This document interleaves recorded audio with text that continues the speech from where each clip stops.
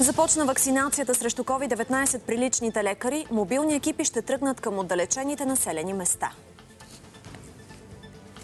Такива екипи ще бъдат създадени на централно ниво и ще бъдат на разположение на всички кметове в местата, където личните лекари не могат да стигнат.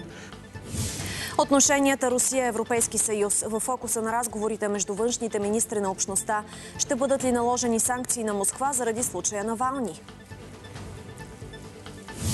Защо хора с увреждания трябва да пътуват стотици километри, за да подновят шофьорските си книжки? 300 зора накрая в Горна Ряховица ми дигнаха ме записаха за 15 юли, което значи, че и то срок 7 месеца, който имам, гратисния, един месец аз ще остана без книжка.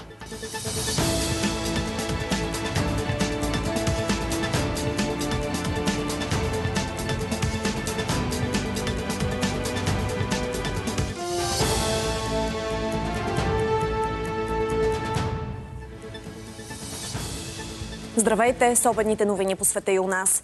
Близо 4300 лични лекари от страната от днес също се включват в иммунизациите срещу COVID-19. Джипитата ще получават по 10 лева за всяка поставена вакцина. Голяма част от семейните лекари в Пловдив и областта вече получиха вакцини. Как протичат иммунизациите в региона и има ли достатъчно налични количества вакцини? Подробностите следват от Деница Турньова. Добър ден! Здравейте! Повечето лични лекари, които вече получиха нужните количества AstraZeneca са от областта. Те използваха почивните дни, за да дойдат и вземат вакцините от Рези и Пловдив, където течеше и масовата иммунизация. Именно за да не се получават огромни опашки, като във времето на Зеления коридор, здравните власти призоваха всички, които искат да се вакцинират, да се обърнат към личните си лекари и увериха, че достатъчно вакцини ще има за всички. Това обаче оказва се с днешна дата съвсем не е така. Тази сутрин получихме сигнал от лични лекари и групова практика тук в ДКЦ-1, където се намираме и ние, че обещаните им количества вакцини не са налични в РЗИ. И така пропада първоначално направената организация за вакциниране на техните пациенти тази седмица в точно определен час, определен брой вакцини, така че да не се похабяват дози. Очевидно, поставянето на първа игла за някои от личните лекари в Пловдив се отлага. Ето и подробностите. Ало? Да, здравейте. От рано сутринта телефона на доктор Цигаровски не спира да звъни. Търсят го както пациенти с симптоми на коронавирус, така и много желаящи да се включат в иммунизацията срещу COVID-19. От сутринта има може би над 20 нови още записали се. Аз и част от колегите ми започнахме в петък с една малка група. А иначе в момента ам, сме в готовност, имаме възможност да иммунизираме, има хора, които чакат, но доколкото разбрах е свършила вакцината. И сме в очакване на доставка на вакцина. Много от личните лекари са готови да вакцинират и извън работно време, за да могат повече пациенти да получат дългочаканата защита. А от и организират мобилни екипи, които да иммунизират на място служителите в по-големите предприятия. Няма условия за определен брой хора, заявили желание за вакцина. Разбира се, по-добре е да бъдат повече хора. В петъчния ден имахме три екипа, които извършиха иммунизации в пет предприятия на място. Така наречената работа на терен, нямаше никакви проблеми. Нашето желание е тогава, когато има желаещи и е невъзможно да бъде прекъснат процеса производствения в самото предприятие, ние ще създадем всичко възможно да бъдат иммунизирани на място. И в големите фирми, както и в кабинетите на личните лекари, пациентите на този етап ще се вакцинират с AstraZeneca. Получените количества в Пловдив на Pfizer се пазят за желаящите от секционните комисии. Но и тук има много неизвестни. Сега се оказа, че РИК не си е подал още информация за секциите, кой къде ще се вакцинира, за да се разпределят по райони вакцините, за да може хората да отидат локално, предполагам не да се струпват всички претрези. Масова иммунизация ще се извършва в 23 кабинета в медицински центрове и болници в областта. По-късно през деня очакваме от регионалната здравна инспекция да кажат кога ще бъдат налични обещаните количества вакцини за личните лекари. Юле? Благодаря Деница Турньова за вакцинирането в Пловдивско. Опашки от желаящи да се вакцинират през почивните дни в столицата. Близо 2000 души са вакцинирани само в спешния център Пирогов с първа доза на вакцината на AstraZeneca от петък след обед до вчера вечерта. Това съобщи и тази сутрин директорът на лечебното заведение професор Асен Балтов. Близо 2000 са и в Военно-медицинска академия.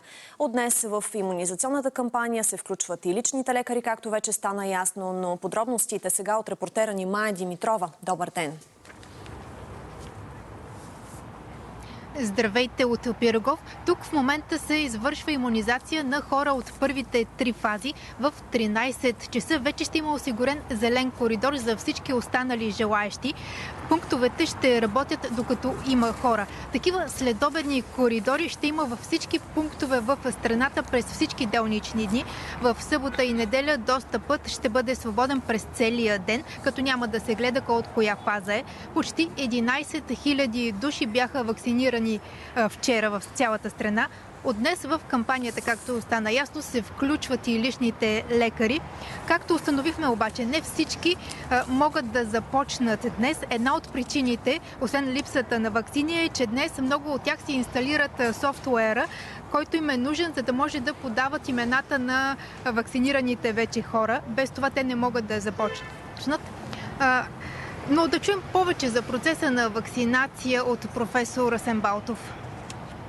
Предишния период от 27 декември до този уикенд общо вакцинираните в Пирогов са били 4200, от които 1250 с втора доза. Разбирате, че говорим вече за съвсем други мащаби и възможности. А от гледна точка на организацията, има ли по-добър начин от това свободно идване на граждани? Може би има по-добър начин и той ще бъде след 3 март, когато ще имаме тогава вече информационна система и възможност за записване в специален регистр, който да посочите къде искате и в евентуално да си запазвате част. Препоръката на Здравното министерство е втората доза на AstraZeneca да се поставя в най-добрия случай 10 седмици след първата доза. Но повече подробности на сайта ни newsbnt.bg. Точно така. Благодаря информация на Майя Димитрова. А мобилни екипи ще тръгнат към отдалечените населени места, за да може и желаящите там да се вакцинират. МВР и Здравното министерство ще организират логистичната подкрепа. Това беше решено на работното съвещание при премиера с Националния оперативен щаб, вакцинационния щаб и министри. Бойко Борисов посочи, че не трябва да има разлика между големи, малки и отдалечени населени места за вакцинацията. Настоява всички желаящи да получат иммунизация. Здравният министр съобщи, че за последните три дни в страната са вакцинирани близо 30 000 души. Преди обяд, премиерът, придружен от министър Ангелов и генерал Мотавчийски в село Самуилово, община Петрич, провериха как протича вакцинацията в малките населени места. Пред местните жители Борисов обясни, че иммунизацията е единственият начин за справяне с пандемията и ги призова да бъдат активни. Категорично опровергахме антиваксерите, че хората не желаят, а с статистиката, която имаме, да, в момента сме много добре сравнение с всички други държави в Европа, но виждате плавно повдигане на броя на заразените. Единствени шанс да се предпазиме от тук насетне е масово да продължиме да вакцинираме. Включително и в труднодостъпните места, малки населени места. Всеки желаещ трябва да бъде вакциниран. Това ще успокои генерал Мотавчийски за ръста в интензивните и броя на заразените. И ще можем да изпълним ангажимента към ресторантьорите и всички останали.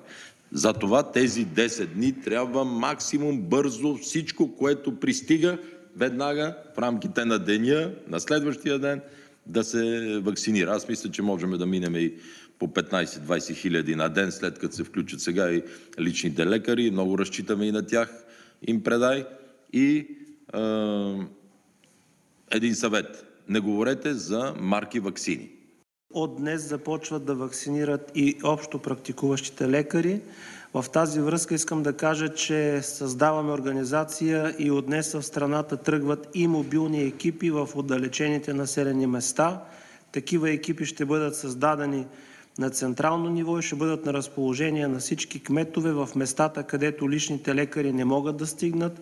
Заедно с министър Терзийски сме създали организация в отдалечените места, там където лекарите имат затруднения с осигуряването на ваксини и логистиката от РЗИ-то до вакцинационния техен кабинет, автомобилни средства от полицията ще могат да бъдат в помощ на личните лекари на РЗИ-тата, Мобилен вакцинационен екип ще извършва иммунизация днес в две от селата в община Разлог. Медиците ще посетят Баня и Добърско, където всички жители, които желаят, ще бъдат иммунизирани. Започна ли вакцинацията и има ли интерес от страна на жителите на Баня? Станислава Христова по темата. Добър ден! Добър ден, да, има интерес и то много голям. Вакцинацията беше обявено, че ще започне в 10 часа, а още един час по-рано отвън чакаха хора, които да бъдат иммунизирани. Иначе да, община Разлог е първата в област Благоевград, където идва мобилен екип от Център за спешна медицинска помощ в София. Сутринта екипът пристигна с 150 вакцини. Те ще бъдат разпределени между желаящите, които искат да се вакцинират тук в село Баня и хората от село Добърско. Както и в момента виждате, всички, които ще се иммунизират, минават предварителен преглед, измерва им се кръвното, прави се и консултация за физическото им състояние, преди да им бъде поставена вакцината. А какво казаха жителите на община Баня, които чакаха да им бъде поставена вакцината тази сутрин, предлагам да видим. За да живеем още. да живееме по-дълго и да не изпитаме болките на вируса. Никакви притеснения нямам. До сега редовно съм се а, иммунизирал срещу, не срещу този вирус, а срещу обикновения грип. И това не представлява никаква трудност, нито е някаква болест, нито... Нема нищо страшно. Това очаквам, да сме по-спокойни след това да ходим в пенсионерския клуб. Редовно, без страх и така. Вакцинацията е доброволна, който желая доброволен акт. хората се притесняват, искат да живеят по-дълго. Чухте, че те са информирани, има много информация. Това беше на Никола. Реимунизацията ще се извърши след 4 до 12 седмици, като отново тук в село Баня ще пристигне мобилен екип. А само да уточня, ние се намираме в стая в кметството, където е обособени кабинета днес. Това е от тук. Благодаря, Станислава Христова. А, вакцинацията осигурява имунитет за най-малко 8 месеца. Това обясни в сутрешния блок на БНТ академик Богдан Петрунов. Той каза още, че всички вакцини, които са разрешени за използване у нас, са достатъчно ефективни в борбата срещу пандемията. А реакциите, които се наблюдават, макар и сравнително сравнително рядко са нормален отговор на организма. Трите вакцини са одобрени в условията на висока безвредност и висока имуногенност. На AstraZeneca е по-ниска имуногенността между 68 до 80 на 100, но това е много условно, докато на двете РНКови вакцини е около 90-95 на 100. Но това не е най-важното според мен. Важното е, че и трите вакцини създадат имунитет, който наистина за момента доказва, че може да бъде около най-малко 8-12 месеца. Допълнителни въпроси за организацията и записването за вакциниране желаящите могат да задават към съответната регионална здравна инспекция. Информация къде можете да се вакцинирате ще намерите и на сайта ни BNT News BG. Според данните на единия информационен портал, общият брой на поставените дози вакцини у нас е 119 354, като само за денонощието са 10 998. Новите случаи на COVID в страната са 227. Положителни са 8% от направените общо 2792 теста. Излекувани са 114 души, починали са 15. Президентът Румен Радев призовава за своевременна реакция от отговорните институции в България и Република Северна Македония на сигналите на наши сънародници от югозападната ни съседка за важни проблеми, пред които са изправени. Позицията на българския държавен глава е мотивирана от получено в президентската институция писмо от етнически българи от Република Северна Македония, в което те изразяват загриженост от тяхното продължаващо дискриминиране. Министрите на външните работи на страните от Европейския съюз заседават днес в Брюксел, като една от темите ще бъде налагането на нови санкции срещу Русия заради присъдата срещу Алексей Навални. Не очаквам някой от колегите да се противопостави на даването на зелена светлина за евентуални санкции, каза външният министър Екатерина Захариева в интервю за Политико, дадено в навечерието на срещата. Според нея, външните министри ще наложат санкции според новия санкционен режим на Европейския съюз за правата на човека и върховенството на закона. Захариева коментира още, че не е била против посещението на Жозеп Борел в Русия и не е била изненадана от изхода на визитата. Ясно е, че Русия е поела курс на конфронтация с Европейския съюз. В случая с господин Навални имаме ярък пример за нарушаване на ангажиментите, включително отказ да се вземе предвид решението на Европейския съд по правата на човека. Ще имаме важна дискусия, каква да бъде нашата реакция и се надявам да останем единни и категорични. Пандемията ще приключи през 2022. Това заяви регионалният директор на Световната здравна организация за Европа. През датската държавна телевизия Ханс Клуге каза, че и тази година коронавирусът ще дискриминира дневния ред на обществото, но ще бъде по-управляем. Един от основните фактори за справянето с нея е вакцинирането, допълни регионалния директор на Световната здравна организация. По света план за поетапно облегчаване на мерките във Великобритания. Учениците се връщат в клас в Германия. Испания започва масовото тестване на учители, а в Гърция започват подготовка за летния туристически сезон. В страната ще се влиза с вакцинационен паспорт или отрицателен ПСР. Отвъд океана очаква се броят на жертвите на COVID-19 в Съединените щати да надхвърли 500 хиляди. Може ли Фейсбук да бъде надежден източник на информация за пандемията? Това се запитаха редица експерти, след като стана ясно, че платформата блокира платени публикации за ползата от вакцинирането срещу COVID-19. От компанията на Марк Зукърбърг уточниха, че причина за недоразумението е алгоритъм, свързан с регулация на политическата реклама. Като недостоверни са обозначени 110 поста, част от тях са посветени на механизма на вакцинация, а друга включва списъци с пунктове за имунизация организиране. От Фейсбук се ангажираха да възстановят съдържанието. Администраторите на страниците знаят, че могат да обжалват действията на мрежата, но смятат, че това е твърде трудоемко и е загуба на време, което би могло да бъде посветено на борбата с вируса. Още новини от света в следващата минута. Компанията Boeing препоръча спирането на машините модел 777 с двигател от определена партида. Става дума за 69 самолета в експлоатация и 59 на склад. Причината – инцидентът с Boeing 777 на United Airlines. В събота минути след излитането на машината от Денвър, един от двигателите буквално се разпадна във въздуха. Самолетът с 231 пътници и 10 души екипаж на борда успя да кацне аварийно. При инцидента няма пострадали. Американската федерация по въздухоплаване обяви, че започва допълнителни проверки проверки на самолетите Боинг 777. Международната агенция по атомна енергия и Иран постигнаха временно споразумение. В следващите три месеца експертите от агенцията ще продължат да имат достъп до иранските ядрени мощности, но няма да могат да правят изненадващи проверки, както до сега. Преговорите се наложиха, защото утре влиза в сила закон, според който обемът на инспекциите на ядрената агенция трябваше да бъде съкратен. Очакват се действията на администрацията на Джо Байден по казуса. Най-малко петима души бяха задържани след поредната нощ на бурни протести в Барселона. В демонстрациите са участвали около 6000 души, по данни на местни медии. Отново е имало сблъсъци между полиция и протестиращи. Демонстрантите настояват за освобождаването на рапъра Пабло Хасел. Той е осъден на 9 месеца затвор заради текстовете на песните си, в които възхвалява насилието и обижда монархията. Освен в Барселона, протести се организират и в други испански градове. Първи випуск лекари положиха клет, Хипократовата клетва и онлайн. Атмосферата на тържественото присъствено дипломиране на всички абсолвенти заедно беше пресъздадено в специално веб пространство.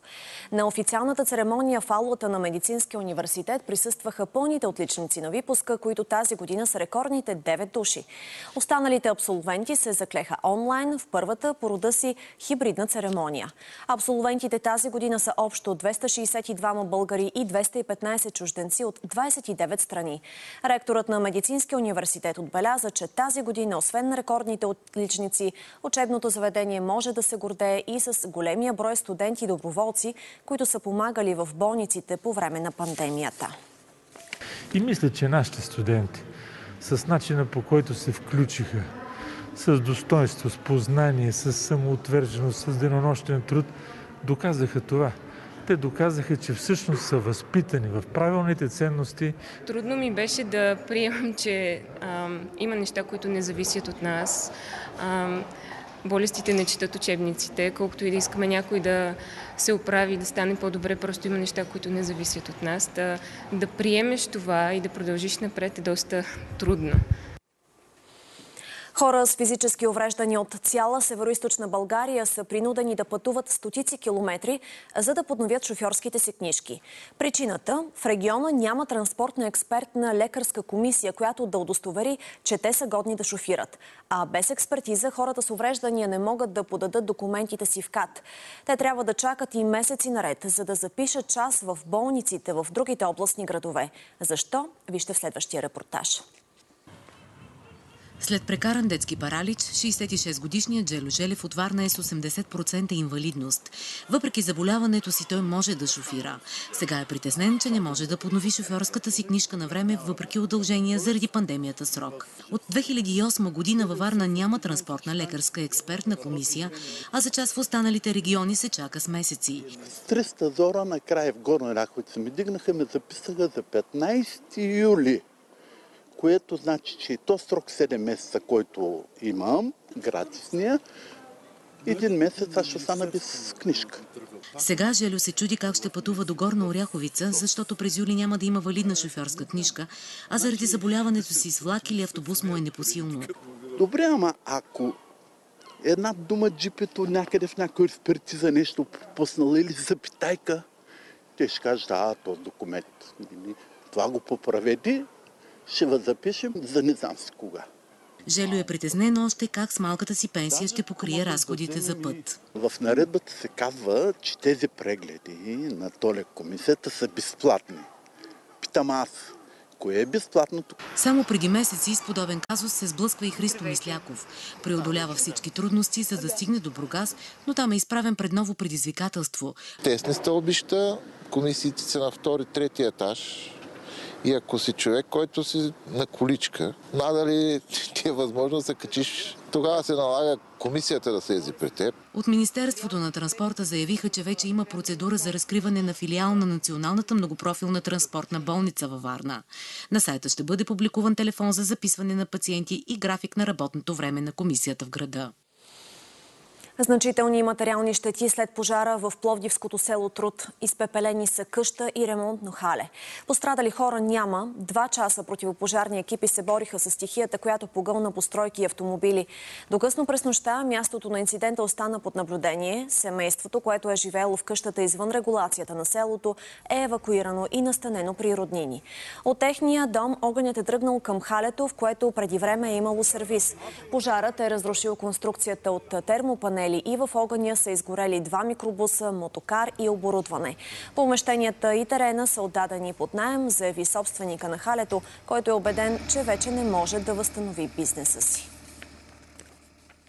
Тръгнаме огън от комшиите и оттам вече прихваща моята сграда, която е термопанел и така нататък. И то се вижда, всичко изгоря. Цялата сграда, вътре с имущество, с конструкция, всичко е на земя. Земя е тежка загуба, горе-долу 170 хиляди лева отидах. Само като панели, като работници, отиде си. Колко души живеят тук? 4-5 човека.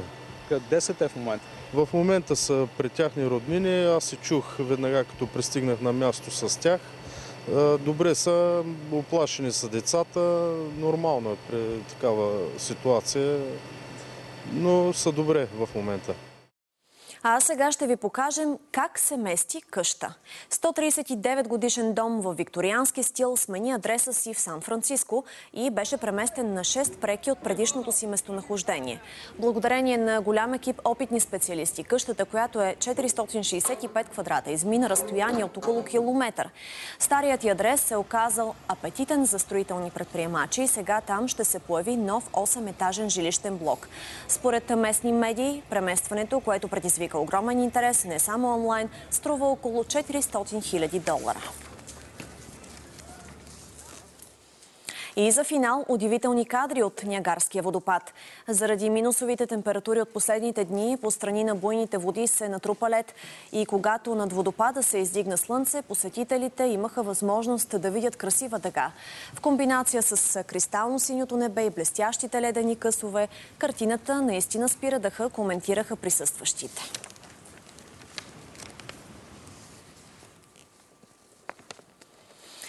У нас синоптиците предупреждават за затопляне. В студиото вече е Ева Кикерезова. Какво ни очаква в близките дни, ще разберем от нея. Сега здравей! Здравейте! По-топло от обичайното за края на февруари, като по-съществено ще бъде затоплянето в планините.